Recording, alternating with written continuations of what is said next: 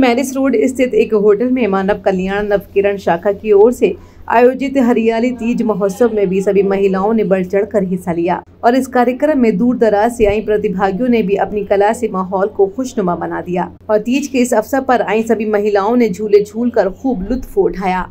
और हरियाली तीज के इस महोत्सव पर सभी महिलाओं में अलग ही जोश देखने को मिला। और सभी ने बड़े ही धूमधाम से हरियाली तीज के इस पर्व को मनाया। मेरा नाम शेफाली गुप्ता है। मैं नव नवकिरण संस्था की कोषाध्यक्ष हूँ। ये हरियाली तीज के उपलक्ष्य में हुआ है।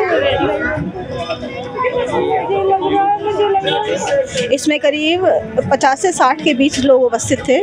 ये नवकरण मानव संस्था से आए हुए। हैं बहुत अच्छा प्रोग्राम हुआ है। तीज का प्रोग्राम है। काफ़ी इंजॉय कराया। झूले का भी प्रोग्राम है इसमें। सब कुछ काफ़ी अच्छा लगा सभी लेडीज़ प्रोग्राम है। अच्छा प्रोग्राम है। अच्छा लगा। नूतन अग्रवाल। ये प्रोग्राम बहुत अच्छा हुआ है। लेडीज़ प्रोग्राम है, तीजों का प्रोग्राम है अच्छा हुआ है। मेरा नाम दिव्या वाशने है। ये मानव कल्याण नवकिरण एक संकल्प हमारी शाखा है।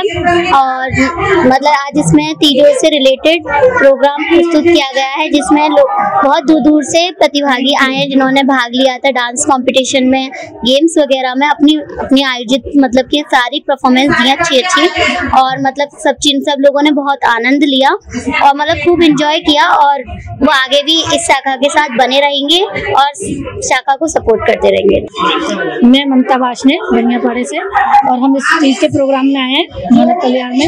इसका प्रोग्राम बहुत अच्छा था बहुत अच्छा लगा हमने बहुत इंजॉय किया और ये प्रोग्राम में हम आगे भी बने रहेंगे। ऐसे ही अपडेट के लिए आप देखते रहिए एटी न्यूज़ इंडिया साथ ही हमारे चैनल को लाइक शेयर सब्सक्राइब करना ना भूलें।